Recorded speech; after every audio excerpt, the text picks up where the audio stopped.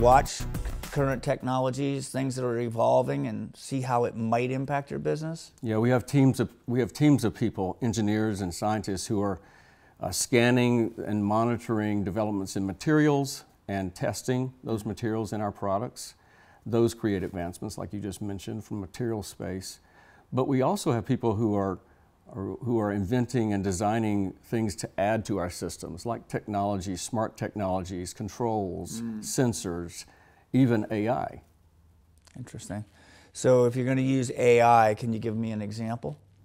Yeah, AI for cooling a building, uh, whether it's a home or, or an office building, can be used to monitor the weather and adjust the, the system inside the building to respond to a cooler day, to a warmer day. The building can also know and understand what happens typically with occupancy in the building. We know that people are in office buildings from roughly eight to six, and so the building can monitor who's in the space and can cool accordingly and reduce the energy use because of that. Very nice. Good stuff.